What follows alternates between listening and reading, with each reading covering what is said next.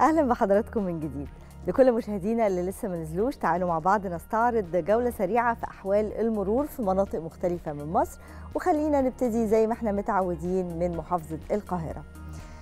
هنشوف مع بعض كوبري أكتوبر. إحنا شايفين فيه كثافات مرورية بسيطة مش بتأثر على معدل الحركة لغاية منطقة رمسيس.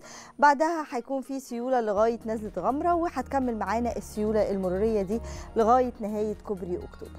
لو بصينا عند شارع رمسيس إحنا شايفين كثافات بسيطة وغير مؤثرة بامتداد الشارع وهتكمل معانا السيولة دي لغاية طريق النصر. أما عند كوبري 15 مايو المتجه للمهندسين هنلاقي بعض الكثافات المرورية اللي ناتجة عن التحويلات بسبب أعمال ربط محور 26 يوليو الجديد بشارع أحمد عرابي. لكن لو بصينا بقى في الاتجاه الآخر من ميدان لبنان هنلاقي فيه سيولة مرورية وما عندناش أي مشاكل. لو بصينا عند شارع بورسعيد من نزلة كوبري أكتوبر. إحنا شايفين سيولة مرورية مكملة معانا لغاية ما بنوصل لمنطقة الزاوية الحمراء. بعض الكثافات هنلاقيها هنلاقيها عند منطقة الويلي ولغاية كوبري الساحل والأميرية مفيش أي مشاكل. لو جينا بصينا عند أعلى الأوتوستراد هنلاقي سيولة مرورية نسبية. هتقل بعد شوية للي جاي من مناطق حلوان والمعادي والمقطم. أما مطلع المقطم للمتجه لمحور صلاح سالم إحنا عارفين إنه مغلق بسبب الأعمال الإنشائية. خلينا بقى نروح الجيزة ونشوف الأخبار هناك إيه. إحنا في شارع الهرم إحنا شايفين طبعا الكثافات المرورية اللي إحنا بقينا عارفين انها موجودة بسبب غلق الشارع في الاتجاهين لمسافات ممكن توصل ل 500 متر بسبب أعمال إنشاء خط المترو الرابع والكثافات دي إحنا متوقعين إنها هتزيد مع ساعات الذروة.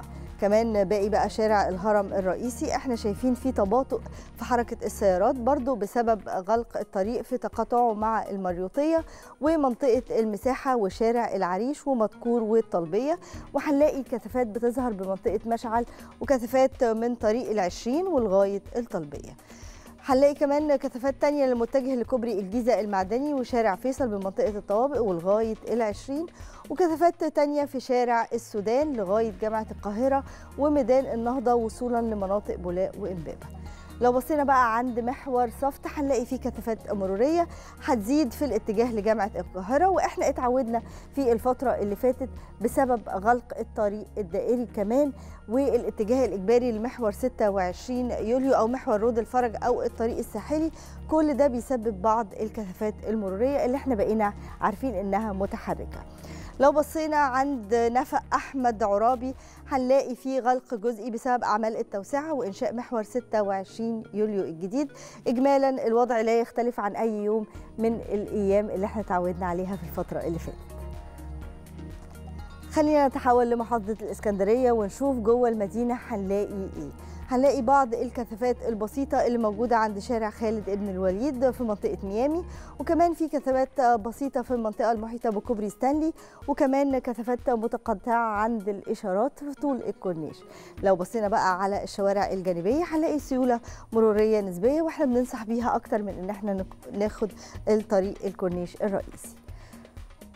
لو بصينا عند شارع جمال عبد الناصر هنلاقي كثافات مرورية عند التقاطع مع محور محمد نجيب.